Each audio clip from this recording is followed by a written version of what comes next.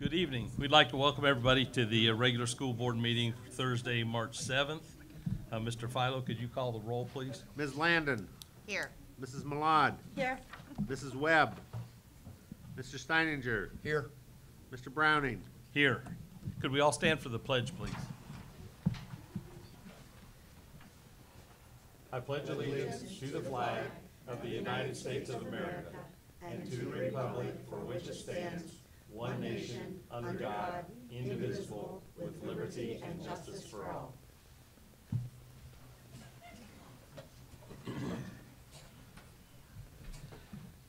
So next on the agenda is to approve the agenda as presented. If we could get a motion in a second. So move. Second. Mr. Philo? Mr. Steininger, Yay. Ms. Landon, Yes. Mrs. Malad, Yes. Mr. Browning. Yes. Motion carries. Uh, next is to approve the minutes of the Thursday, February first regular meeting. Again, if we could get a motion in a second. So moved. Second. Mr. Philo? Mrs. Malad, Yes. Ms. Landon, Yes. Mr. Steininger, Yay. Mr. Browning. Yes. Motion carries. Uh, next is board reports and good of the order. If we could start with Wendy? Sure. Fairborn Intermediate teachers Celeste Stevens, Jared Reed, Courtney Spiegel, and Lisa Van Hoos were awarded the Outstanding Instructional Practice Award from Wright State University. Congratulations and thank you for your continued focus on the best educational practices which promote student learning. We'd also like to thank, or congratulate, our girls wrestling team. Akaya Reinhardt is headed to the state wrestling meet, placing first in her regionals. Serenity Almer Ernest and Zion Glenn finished sixth in the regionals. So thank you to uh, Coach Spain um, and to the team. And I'd also like to say, um, uh, you know, thanks to Matt Klein, on February 28th, I got to participate with them at Fairborn Primary School. Um, And they're volunteers, they brought Spider-Man, and they handed out shoes to approximately 50 children. So thank you to him and everyone that volunteered that day. Okay, I'd like to congratulate the uh, Fairborn third grade Navy uh, base, basketball team champions. The future is bright for our Fairborn basketball program. And I'd also like to thank the Fairborn High School chorus and music programs for visiting the fifth grade at Fairborn Intermediate to highlight our musical programs and encourage participation. Uh, Also, if you didn't notice in the news, there was a release that Fairborn High School was awarded the Career Center Educational Equipment Grant. Uh, And the high school is proud to announce this award of of $820,000 and six $615. It's put out by the Ohio Career Technical Educational Equipment Grant to enhance Project Lead, uh, Lead the Way. And I'll let Sue Brackenhoff talk about that more in a few moments. And this is a great deal for us and a significant amount of money. I'll let her finish with all the details. Thank you. All right. So Fairborn High School held a blood drive on Thursday, February 29th, with a total of 55 donors registered to donate, and 33 of which were first-time donors. The goal was 35 units, and Fairborn High School collected 46 units, mm-hmm. achieving 131% of the goal. Fairborn Night at Wright State University included the FHSAF JROTC Ohio 031 and Fairborn High School choirs, as well as the FHS ASL students, or sign language students, who signed during the national anthem. We are extremely proud of all of our students. Thank you to the Fairborn Area Chamber of Commerce and Wright State Men's Basketball for the opportunity to come together as a community. Okay. Uh, Three of the intermediate uh, fifth grade classes visited the Ohio Supreme Court. Uh, They took a tour and were able to sit in on the uh, court chamber and participate in a mock trial. Uh, The classes on the field trip included Mrs. Wardle, Mrs. Hill, Mr. Reed, and Miss Van Hoos. Uh, Special thank you to the Ohio Supreme Court for providing the transportation grant for the students to make this trip. Uh, Staff members stated that these students did a great job and made Fairborn schools proud. So I saw that, and I thought that was really neat that the kids got to participate in that. Uh, The other thing is that the uh, uh, Green Giving, the Greene County Community Foundation, there's a new scholarship that's just starting this year Uh, It's in memory of Joe Morgan, who graduated in the class of 1975, and I actually ran track with him. Uh, It's for track athletes, and uh, they have to have a minimum of a 2.5 GPA and plan to pursue higher education in Ohio. It can be at a tech school or a four-year school in Ohio. That's the only stipulation. Uh, Just a couple other things. Uh, Last week, got to participate with Rotary in terms of passing out books at the primary. And that's always a lot of fun, watching the kids, uh, um, you know, as the books, the book gets read to them and those kind of things. And, and Mr. Lolli was one of our great book holders to show them which page to turn at what time. Couldn't read it, but Yeah. Um, the other thing was the choir. Last week, uh, they had, or actually Tuesday night of this week, had their, uh, concert. They weren't able to do their concert in December because of all the illness we had. So, uh, this was actually their first concert of the year, and it was eighth grade, uh, through the high school choirs, and, and they did their normal outstanding job. So with that, we'll go on to recognition of visitors. Mr. President, I don't have anybody signed up tonight. Okay, then we'll go to school district presentation. Mr. Lolli? Oh, he's already up there. Good evening, everybody. Just going to give you a kind of a brief update on where we're at with the construction of the new high school. Believe it or not, the substantial completion date for that high school is May the thirty-first. That's less than three months, so it's getting close. Um, Let you know where they're at on some of the things. Uh, Recently, the auxiliary gym was laid, and I think they may have completed that yesterday to- or today. There's still some work to do with the floor, staining and, and that type of thing. So the auxiliary gym floor is down for the most part. Also outside, it would be the, um, south side, what, else? south side of the high school or the side of the academic wing. They are laying that concrete, and uh, their goal is to finish up all the outside concrete here in the next week or so. And then when they get all that concrete work done, you're gonna see the final uh, layer of the asphalt done once all that concrete work is done. So, uh, making some great headway. If you walked into the main entrance area and the commons area, uh, they're in the process of uh, laying that terrazzo floor, and that's a heck of a process there. If you watch that, I had never seen it before, but uh, that's very tedious and time-consuming, takes a lot of time. So they are in the process of doing that whole area as we speak. Um, In the next week or so, maybe sooner, they will start laying the floor to the arena. So all the wood is laying inside the arena, and that's just about ready to be put down. Uh, the Performing Arts Center is really coming along. Uh, it's looking beautiful and, uh, making some progress there.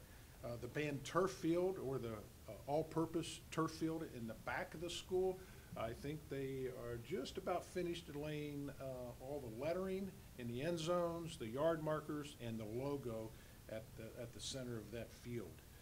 Um, Athletic Training Center has started, they've laid the footers, they're getting ready to do, and I think they probably have already started the block work, so making some progress there. Um, The movers for, uh, are still scheduled for June the third to move this staff and equipment out of here, June the third. That'll be about a two-week process, and when they're finished with that, movers will start moving Baker staff and equipment out of Baker into this building. So, Got to catch your breath Yeah. sometimes, everything being done, but I'm telling you, I don't know how many of you have not seen it, but uh, wait till you do. It's something that we're all going to be very, very proud of. Okay, thank you. Uh, Before, I'm just gonna add a couple comments on that. Um, There's been a lot of questions on social media about the rock out front. Uh, The rock is getting moved to the new high school, and it looks like it's gonna be moved over spring break when there's no cars here. So the class of twenty-four is gonna have to paint the rock at the new, new high school uh, when they graduate. And then also the arch out back, if you drive, you'll see that the arch is gone out back by the, uh, by the football practice field. It's now in place for the players to go through, uh, when they take the game field at the new high school. So just trying to move some history from here to there. So, Okay. thanks, Gene. All right, next on the school district presentations, uh, Mr. Steininger mentioned the uh, Career Tech Equipment Grant. Uh, receiving, I think it was eight hundred and twenty thousand, I don't have it in front of me, but the timing is impeccable as we move into the new high school.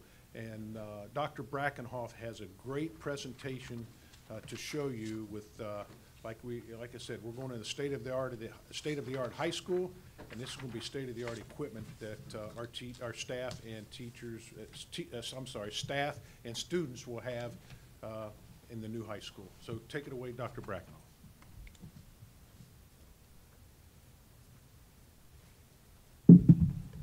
Well, I want to remind everyone, this is a professional development day, so we're going to continue in that mode. I'm not, I'm, unlike Mr. Philo, I'm not going to talk about just numbers, but I will start with just numbers. And our total gra- uh, grant amount was eight hundred and twenty thousand, six hundred and fifteen dollars. And it was broken down into three areas. So the state allowed us to, if we were going to expand or start a new program, so we went for the current programs in Project Lead the Way, which was our engineering pathway and our biomed pathway. And then um, Mr. Stiegel's uh, vision was that we would have a computer science pathway. So um, that was the, uh, the main part of our grant in those three areas. And so now I'm going to talk about the exciting things. What is this actually going to look like? So some of the new equipment that we will see, this grant is solely for equipment. The professional development is on how to use this equipment. So the biggest part of proj- of Project Lead the Way Biomed, and something just happened, hold on one second. Um, is the purchase, purchase of anatomage tables. And I cannot do it justice. All I can say is any school around the area has one. Fairborn High School will have three of these. And, okay. Let's see if these links are. Reagan, is she back there? Do you know why this is? Oh, wait, here we go, here we go. Every life has a story to tell, Excuse me. finding practical experience at ten, a journey. Every life has a story to tell. With Anatomage's Table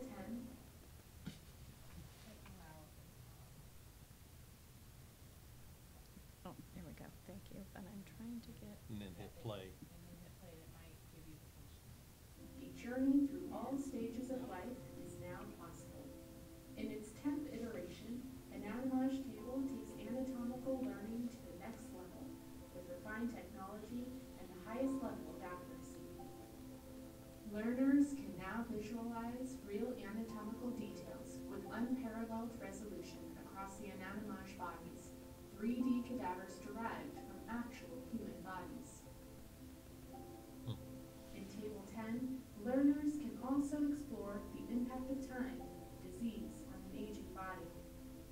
Our newest anatomage body, Hans, was a real-life individual with lung cancer who passed away at age 70. Hans offers real-world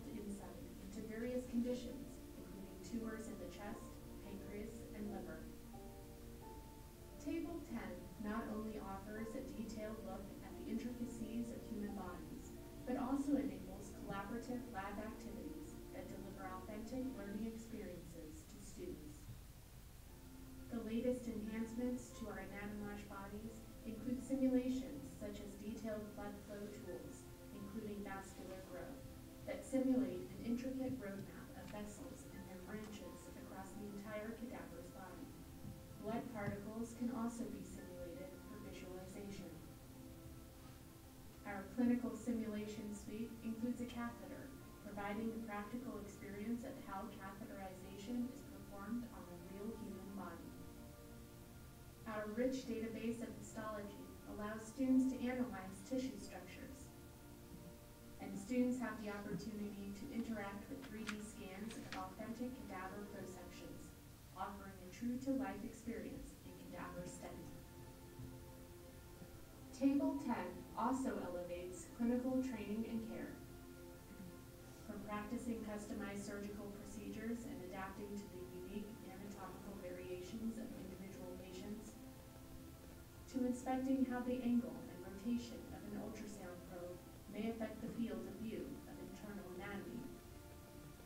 Exploring the inside of a human body in simulated endoscopic fly-throughs, or investigating various heart rates corresponding ECG patterns so you can understand what they mean for your patient's cardiovascular well-being. Table ten sets a new standard for studying anatomy and paves the way for an extensive scientific exploration into the human body that the world has never seen before. Join us on the journey today. There it is. Right, yeah, finally at the end. So that is our biggest piece of equipment. The other for our biomed program, um.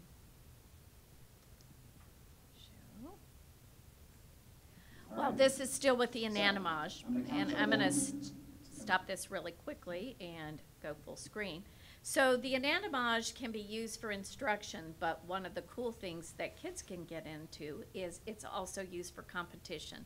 Um, and let me just give you a quick peek of, this is the national Anatomage.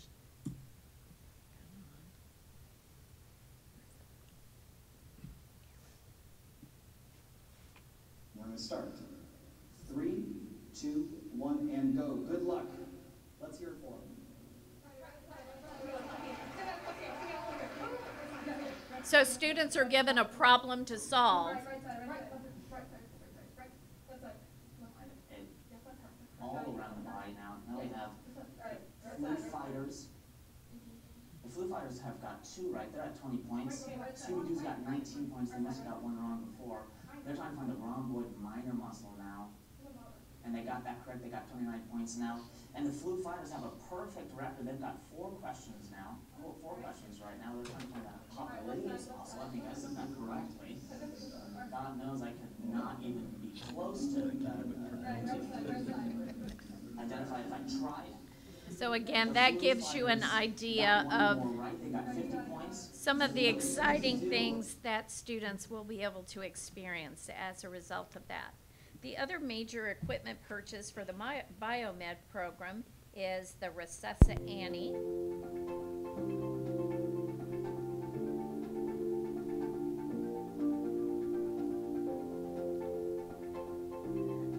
Not only does it simulate real life, the physical positioning, but there are um, electronic components that can be used for both instruction.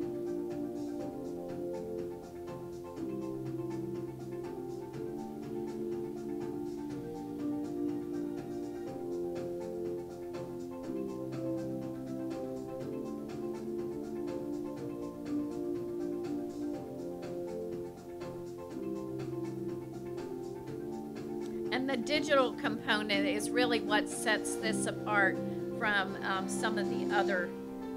And I'm gonna go ahead and cut that short there.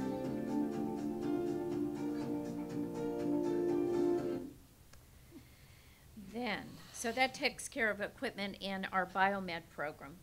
In our engineering program, um, we are adding both uh, 3D printers, multiple ones, as well as laser engraving machines and a robotics arm. And I will just kind of give you a quick idea of the robotics arm. So it's not just um, understanding the programming that's connected with this. Um, we're not just talking about engineering as uh, as a field of study, but in manufacturing, being able to make that connection. So this will be similar to what we're looking at. Students will learn to do programming to achieve um, small tasks. And again, in the interest of time, I'm gonna of cut some of these even shorter than I did. And then the laser engraving machines, if you have, this is the exact, the model that we're looking at.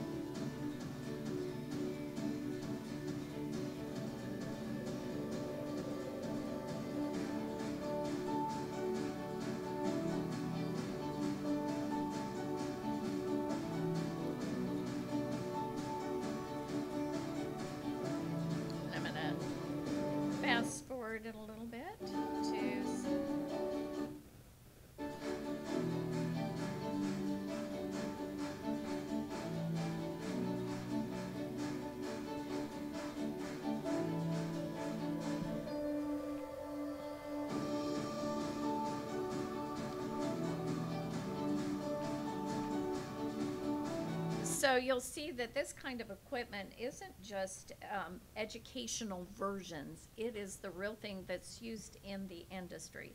Um, Then um, our last uh, area for our equipment grant is a computer lab. And this, we, um, we went to Wright State, we looked at uh, their computer lab. We were, luckily, they had just purchased one, and they worked really closely with us to give us lots of information. But I, I think what's important is we're getting not just the computers and all of the equipment, everything that we can use to make the lab, but it's the concept that this lab was built on. And this is just a, a, a, a little two-minute video, but I think if, for those who were in the professional development sessions today, you'll kind of hear some things that, um, we heard in other sessions about problem-based Take learnings. Go towards simplicity, solve simplicity, and build it all back up to solve a big problem. I'm Travis Doom. I'm an associate All right, professor I'm of gonna computer stop this science and again. engineering, and So we don't see his, just his eyebrow. Okay. the director of undergraduate programs for computer science and engineering. We attempt to embrace innovative change in all sorts of uh, venues, both in research and in education. This room's purpose is to kind of engage students in a state-of-the-art educational environment.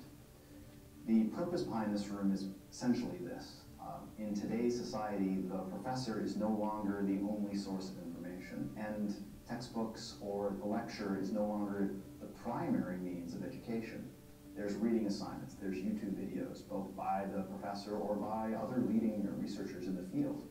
Um, Really, when we get together in the classroom, the goal is no longer to see the material for the first time, but to exercise material, to learn what is useful in that uh, material, uh, to exercise critical thinking, and to get hands-on experience using it. Basically, it's discussion, it's actively involved learning, where the students don't just sit passively, but they engage both with the instructor and other students. And this room is designed to do exactly that. So students get together in groups. We discuss, we work problems, they work with each other, they fight over the answer. Uh, ideally, the answers are such that different groups can have different answers that are both valid, but some are better than others, and we'll spend an entire class period talking about why one answer might be better than another in certain circumstances. And what we end up with is um, a deeper and more mature learning process where students don't just cram for examinations, they walk out of this uh, classroom with a retained knowledge that will last them for their careers. So again, it's not just the physical structure of the computer lab, but also looking at the methodology as far as part of that instruction. So we are really excited that this will be part of the brand-new Fairborn High School. Um, the, uh, award amount became public at ten-thirty AM on Monday morning. And at eleven o'clock, we had our first meeting with the Anatomage people. And um, they can guarantee us delivery of our anatomage tables for the July 17th opening. And um, they will also have somebody here to demonstrate for us. So when we open the new high school, we will be able to show some really cutting-edge uh, technology. The anatomage tables are of the quality, they are in medical schools, um, not just, you know, a- a high school instructional project. So that is my information on our Career Tech Grant. Any questions? That's really cool. When can we take class? Yes, I know. I'm sure. Yeah.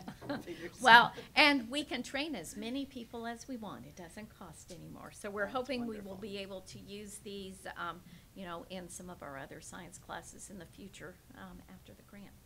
So, then the next thing I am going to talk about, I'll just move right on to it, is, um, Aaron's Law, uh, which is embedded in Ohio Senate Bill two eighty-eight. And the requirement is by the end of the 23-24 school year that school districts must teach students about personal body safety, how to speak up, and tell if they're being abused.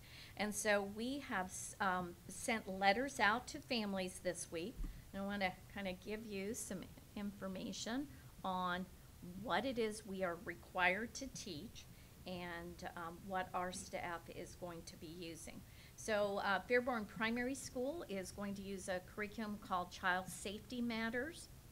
And uh, Fairborn Intermediate and Baker Middle School are going to use lessons from Fight Child Abuse. These were all um, not mandatory that we select, but um, the Department of Education had a list of appropriate programs that meet the needs. Our counselors, uh, mental health therapists got together and uh, reviewed this information and, um, and decided that would be appropriate. So we've selected programs that are appropriate for the age group. So that was for kindergarten through sixth grade, a requirement. Then we have some other required health topics. Some of these we've had in the past, but um, there's been some additions to it. We are required to teach dating violence prevention education as well as sexual violence uh, prevention in grades 7 through 12. Um, we also have to include recognizing that dating violence warning signs and characteristics of healthy relationships. So the two curriculums that we'll be using in the middle school and high school for that are called Violence-Free Relationships and Safe Date.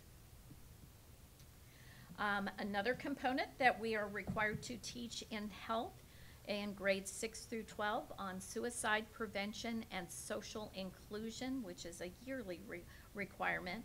Um, the two, uh, curriculums that they'll be using are signs of suicide, which we have been using, and sources of strength. And again, both of those were on the suggested or, uh, list that was provided by ODE. The other component of this is parent notifications. So this week, we started with the um, K through six requirements of Aaron's Law, and we sent letters home to primary, intermediate, and Baker sixth graders that inform parents that we are required to teach this, that we understand that these topics are sensitive topics, and um, that children may have questions and parents may have questions.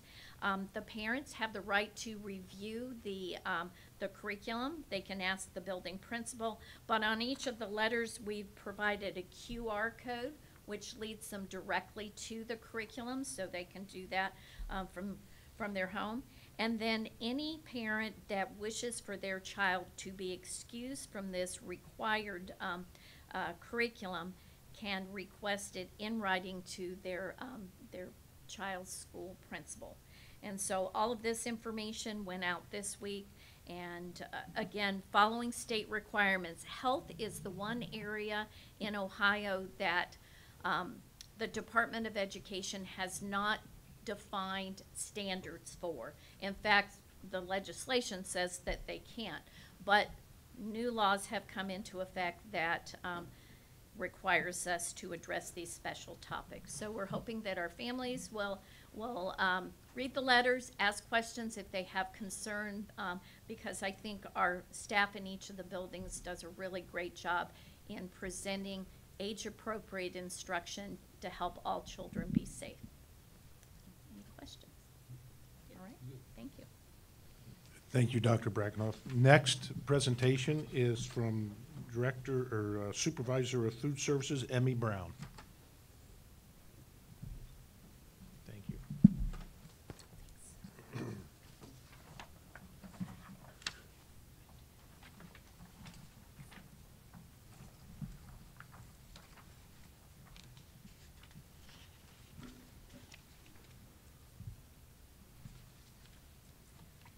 Hello, I am here to present um, on behalf of the Child Nutrition Department. We received an administrative review from ODE this year, and we're just going to quickly go over some of the components of that review.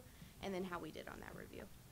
So there were a lot of different components. I highlighted some of the, the more important ones here. The first one is gonna be certification and benefit issuance. So we had to go through about a quarter of our students here in Fairborn City Schools, provide their eligibility, free, reduced, or full pay, and then provide proof of that eligibility. So whether we received um, direct certification through the state, a free and reduced meal application, et cetera, on those students. The next topic is verification, which is actually a self-audit process that the school district, the child nutrition department performs every year. And we pull a sample of our household income applications that are submitted, and we essentially ask families for verification of that income, verification of any other information they provided on that application. We were audited on meal counting and claiming. So monthly, the Child Nutrition Department submits claims to the state of Ohio.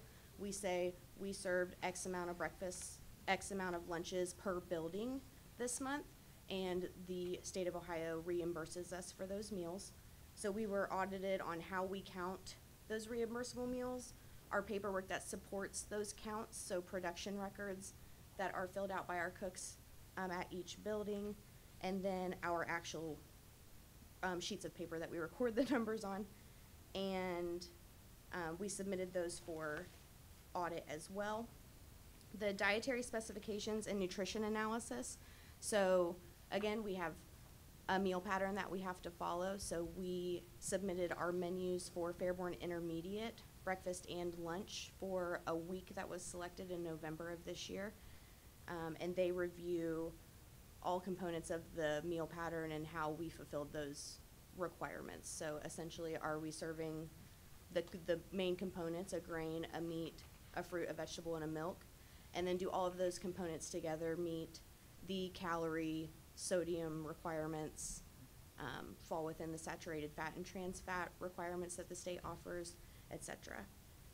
The resource management is also, is one of the biggest parts of the review, and that is complete review of our food service account to make sure that all of our expenses were allowable expenses for the food service account. And we also were reviewed on vendors, how much was paid to each vendor, how we procured those vendors, and so on and so forth. We were reviewed on our civil rights compliance. We were reviewed um, on-site, so an auditor actually came to Fairborn Intermediate and sat through an entire day with our staff, um, reviewed everything from food sa- safety, temperatures, serving sizes, um, et cetera, throughout the day. And then we were reviewed, or we were audited on our wellness poly, policy. Over the course of this review, we had two points where we were offered technical assistance. There is an attachment here in your little packet that I gave out, the exit report, that kind of goes over what those two points of technical assistance were. And they were essentially that we had not hung up items on the wall from moving out of the old building. So, um, we, you kind of can't hang anything on the wall for the first year, and then we had just not gotten those up on the wall. So that was done before the auditor left that day. And then we received one corrective action, and that was on our verification process. And I filled out a waiver for verification, and that was approved. And I misunderstood what the purpose of that waiver was. And so I had to redo the verification process, and that has also been resolved since then. Um, I would just like to say thank you to my amazing team at Fairborn Intermediate and our amazing team at every school. I'm really happy to be able to present a successful audit that reflects all of their hard work and dedication to our students at Fairborn City Schools. Thank you. Good job. Thanks. Awesome, good job. Very, very good job. Thank you. Okay, Mr. Browning, that completes our district presentations for tonight. Okay. So next on the agenda is budget and finance. Um, There's two items. One is the monthly financial report and then uh, the resolution accepting the amounts and rates of the various taxes. If I could get a motion a second, then if there's any comments. So move. Second. Okay, any thoughts or comments? Do you have any comments, Mr. Pilot? No. Go ahead and take roll then. Mr. Steininger, Yay. Mrs. Malad, Yes. Ms. Landon, Yes. Mr. Browning. Yes, motion carries. Uh, next is administrative reports and superintendent recommendations. Uh, this goes all the way to the middle of page seven. And, uh, there's a few things of note in here. Uh, the first is Tammy Gendro, uh, becoming the principal at Fairborn Intermediate. Uh, we're gonna miss Betsy, Betsy leaving, but the building's in, gonna be in very good hands, so. Gene, any comments? Yes, um, just to let everybody know, uh, Mrs. Amy Gayhart put together, as Director of uh, Certified Staff, she put together one great comprehensive interviewing process. Uh, There were inside candidates, outside candidates, and we included some of the teachers from the intermediate in this decision-making. And uh, we are very confident the right decision was made, and the uh, intermediate will be in great hands and uh, right person to succeed, Betsy Wyatt. And uh, Betsy, I just want to say thank you for your services to the Fairborn City Schools and the, and the difference you've made in a lot of kids' lives over the years. Thank you. Okay. Yeah, I just was gonna add, this is another example, you know, we've been working hard to grow from within, and, uh, this is another example of that, so congratulations. And You gonna invite us all to Xenia? Okay. Okay, then on, uh, page four, halfway down, uh, a couple of retirements. Uh, Sue Minahan at FIS, uh, thirty-seven years in education, with thirty-five of them in Fairborn City Schools, so congratulations to her. Also Linda Yoder, uh, art teacher at the high school, uh, same thing, twenty-three years in education, and all of those years are at the Fairborn City Schools, so, uh, two more of our staff that are gonna be missed. So really, that's about it, if we could get a motion and a second. So moved. Second. So, any other comments or thoughts on any of the items? Okay, Mr. Pyland? Ms. Landon, Yes. Mr. Steininger, Yay. Mrs. Malad, Yes. Mr. Browning. Yes, motion carries. Uh, next is gifts and donations. Wendy, could you do that? Sure. The Fairborn City Schools Board of Education would like to gratefully acknowledge the following gifts and donations. Blade Cutters Incorporated, four hundred and ninety-five dollars. Fairborn Moose Lodge, ten sixty-eight. Food items for the Hawk Pantry. Fairborn Women of the Moose Chapter, nine seventeen. Food items for the Hawk Pantry. Gamma Beta Chapter, Epsilon Sigma Alpha. Long word. Um, care of Mary Likens, clothing for the Fairborn Primary School clothes closet. Ed and Sandy Gibbons, one hundred dollars for the committee for after prom, and one hundred dollars for the, um, Ackerman relays. Uh, Mr. Max Discount Grocery Outlet, there's two boxes of shelf-stable food for the Hawks Pantry. Um, the Nishwich Family Fund, three hundred dollars for the baseball, uh, portable batting cage net. We have the Jennifer Whited Literacy Project, and Ed and Sandy Gibbons, two hundred dollars. Michael and Teresa Gum, one hundred dollars. Alicia Slope, fifty dollars, and Stephanie Webb, fifty dollars. Hall of Honor, Major General Scott Bergram, United States Air Force retired, $100. Warren Brown, $500. Bob Carico, $100. Jane Clifton, $100. Joan Dautel, $100. Joyce Dennis, $200. Craig Foreman, $50. Mike and Darla Foy, $50. Jack and Judy Gayhart, $250. Ed and Sandy Gibbons, one hundred dollars. Major General Francis Gideon Jr., one hundred dollars. Lieutenant Colonel James R. Hurd, fifty dollars. Harold and Mary Kaplan, two hundred and fifty dollars. Tom Kirsch, one thousand dollars. David Coker, one hundred dollars. Class of nineteen fifty-four, Larry Hyder, one hundred dollars. Dr., excuse me, Bruce Lamar, fifty dollars. Dr. Steve and Karen Martin, twenty-five dollars. Colonel Laura- Laurel Mayer, twenty-five dollars. The Ron McDermott family, one hundred dollars. Max and Linda Miller, one hundred dollars. Dave and Alan Nevis, one hundred dollars. Norma Nicola, twenty-five dollars. Bob Parsons, twenty-five dollars. Dr. Michael and Gilia Rethman, one thousand dollars. Dr. Joseph and Laurie Ritchie, two hundred and fifty dollars. Michael and Kathleen hundred dollars. Phil and Mary Spar, one hundred dollars. Colonel Tug Thornberry, fifty dollars. Jane Train and Family, one hundred dollars. And Stephen Walliver, one hundred dollars. Thank you to everyone that has made these donations. Everything is greatly appreciated. Thank you. Thank you. Next is executive session, Mr. Mr. President, if we could have a motion and a second for moving to executive session for the specified purpose of discussing negotiations. So moved. I'll second. Ms. Landon, Yes. Mrs. Malad, Mrs. Malad, Yes. Mr. Steininger, Yay. Mr. Browning. Yes, motion carries. We anticipate going out of, uh, into executive session, come out of executive session, uh, vote on the uh, remaining two items, um, on the agenda, and then go back into an executive session, so. We need a break before we move, probably move